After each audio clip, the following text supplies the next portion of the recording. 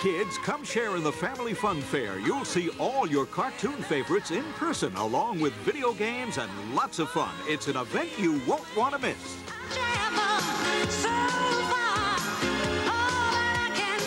The ABC Family Fun Fair is coming to the Montgomery Mall from Friday, October 3rd until Sunday, October 5th. Bring the family and don't miss the fun at the Fun Fair.